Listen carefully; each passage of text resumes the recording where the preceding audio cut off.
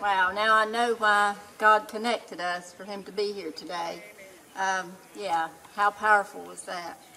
Um, we're running a little bit behind schedule, but we've got one last speaker um, who's going to speak to us for just a few minutes. Um, he is uh, Cliff Muncy. He is actually with the, uh, he is the director of media at America's Remedy. He's got a table set up over here. Uh, America's Remedy is a nonpartisan educational think tank with the goal of shedding light on the origin and the negative impact of nationalized citizenship.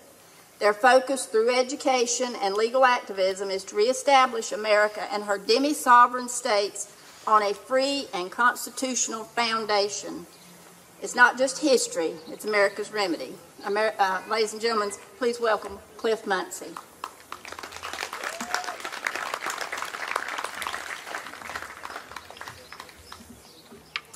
Hello, I am Cliff Muncy.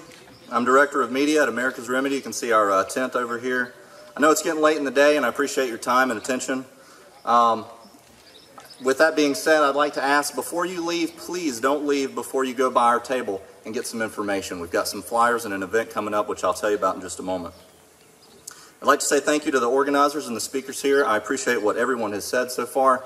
I found so many that we are on the same page with, and I really appreciate what's being said. What better thing to do today than pray for our country? You know, the Bible talks about knowledge. Hosea 4 6 tells us, My people are destroyed for lack of knowledge. James Madison, father of our Constitution, also believed knowledge was important. He said, Knowledge will forever govern ignorance. Today, I'd like to tell you about one way in which I think we are being destroyed for lack of knowledge. When you're fighting a battle, knowledge is important. My friends, I believe America today is fighting a battle. I'd like to tell you a little story about something that happened just last year in my hometown. One of the speakers already mentioned it before me. If you're local, you may have already heard this story, but this may give you a new perspective. In January of 2015, just just last year. My hometown of King, North Carolina, made the decision to remove all religious symbols from their Veterans Memorial at our local park. Again, I grew up in the city of King, so this, this hit close for home to me, close to home. So I wanted to see what this was all about. You may recall that a local man, a U.S. Army veteran in fact, sued the city of King, stating that the religious symbols at the park allegedly violated his First Amendment constitutional rights. The legal battle lasted over four years, and in the end, the symbols were removed, and King's Insurance Company paid half a million dollars in legal fees. Today, you will not find the Christian flag and that statue of a kneeling soldier in a cross marked grave at our local park. King isn't the only place this is happening, it's happening in other towns as well. So, what does the law really say? If we want to have knowledge, we have to study. So we did. The case in King was brought with the premise that by having religious symbols at their park, the small town of King violated this man's right through the establishment clause of the First Amendment of the Constitution.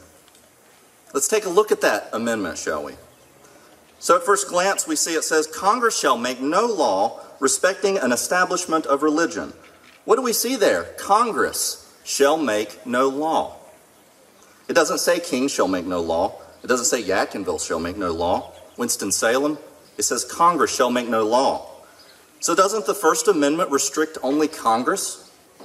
How can it restrict a small town from putting up a religious statue or flag? Now, a lot of folks say the courts are getting it wrong. Corruption, they're twisting the Constitution. And of course, there are other defenses. These may seem logical at first. I might surprise you here with what I'm about to say, but if we're looking at the laws being recognized by the American people as valid, this judge got it exactly right. Why? Because Judge Beaty, like many judges before, recognizes that the Establishment Clause, that part of the Constitution that previously restricted only Congress, has for a very long time now been incorporated against the states and localities like King, North Carolina, by the 14th Amendment. He understands that states we have today no longer have sovereign control. Here are a few landmark Supreme Court cases which also use the 14th Amendment, just like they did in King. You might recognize a few of these. Roe v. Wade, 1973. Anti abortion laws declared unconstitutional through what? Application of the 14th Amendment. Stone versus Graham, this is in 1980. Display of the Ten Commandments on the public school walls is declared unconstitutional because it violates the First Amendment by application of the 14th Amendment. Abington School District versus Schempp, school prayer is declared unconstitutional. This is the removal of school prayer because it violates the First Amendment by application of the 14th Amendment. Bostic versus Schaefer, this is a more recent case in 2013. Same sex marriage laws struck down in the 4th District, Maryland, North Carolina, South Carolina, Virginia, West Virginia. Same sex marriage laws violate the due process and equal protection clauses through the 14th Amendment. And of course, in 2015, we have King, North Carolina, which never made it to trial, but the basis behind this case and its validity that brought it to such a point was through the 14th Amendment. These cases and many more like them, they happen all around us. And all of them use the 14th Amendment as their legal foundation to apply national decisions to the states.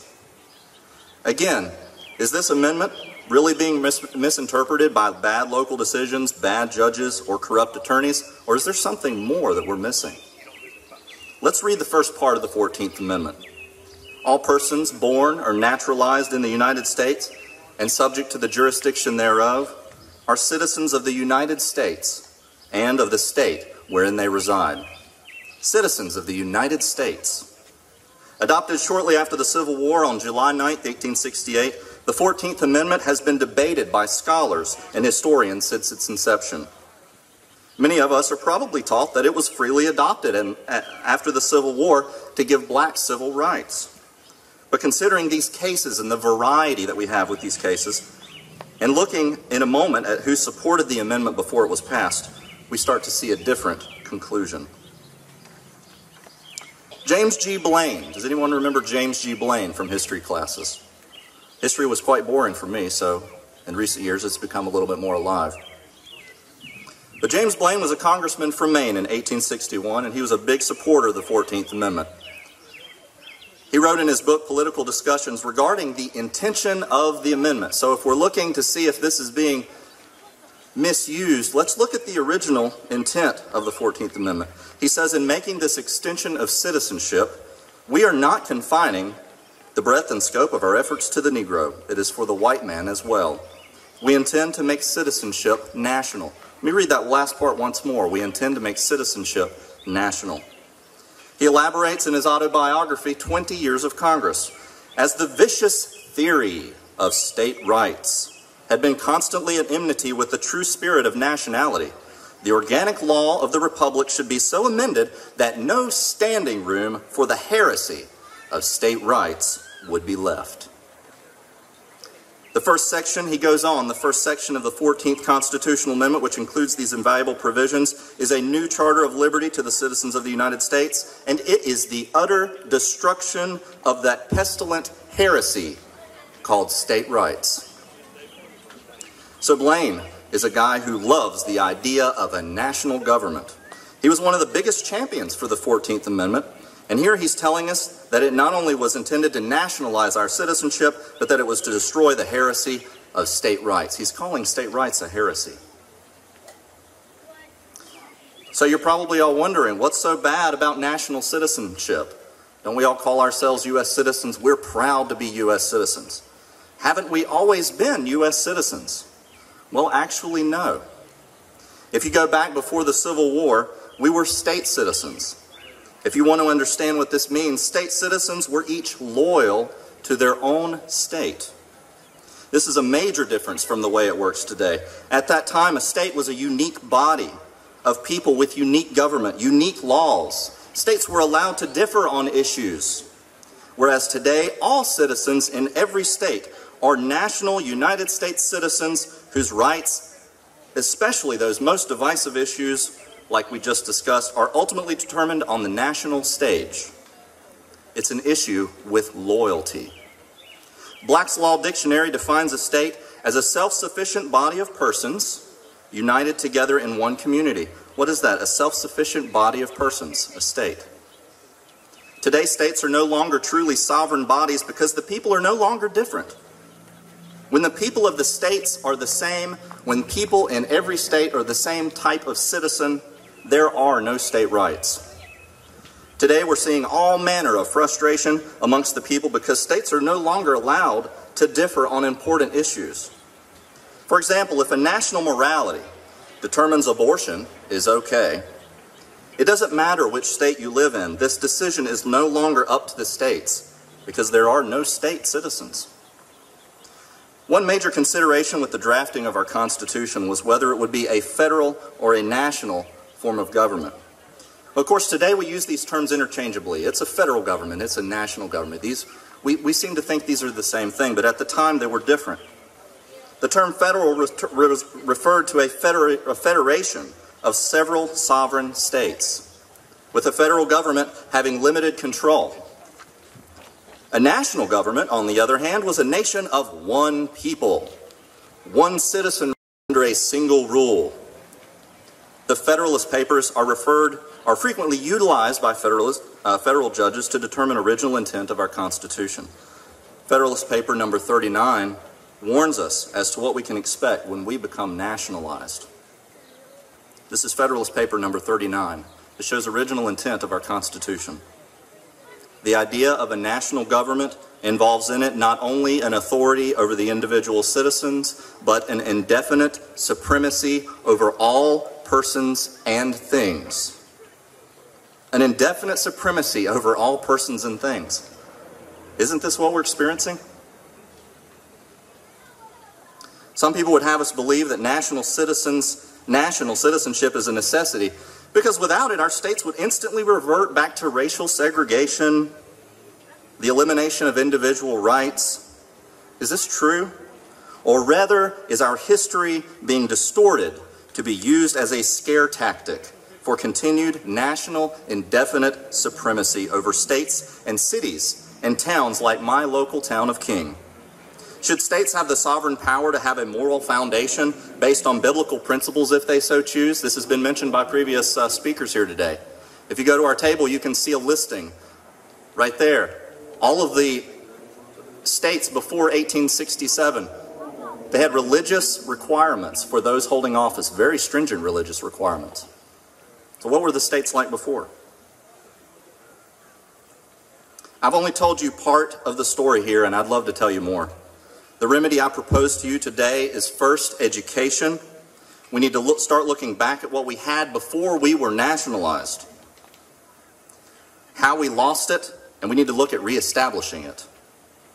We need to look back at when our citizenship indicated a loyalty to states first. Friends, I invite you today to join us in reopening the dialogue on American history. Let's revisit America's past with open minds and humble hearts. That's what our organization, America's Remedy, is all about. Please visit our table. We want leaders in our community. We want local law enforcement. We want pastors. We want teachers. We want homes, homeschool teachers to know and understand this important history. We want you to understand that this is a moral and just cause. If you find this information interesting and you want to know more, We've got an excellent opportunity coming up next, uh, next month, August 13th. It's the second Saturday in August in my hometown of King, North Carolina. Our speaker, founder, John Ainsworth, is going to be speaking. If you've never heard John Ainsworth speak, I highly recommend that you come and, uh, and come and enjoy some barbecue with us. We're going to actually have a meal before that. Uh, come and enjoy some fellowship and time of learning. Like I said, before you leave today, please come by our, our booth and uh, grab a flyer and, and learn a little bit more about what we're about. Friends, if there's one thing I could leave you with today, it would be this let's not be destroyed for lack of knowledge. Thank you.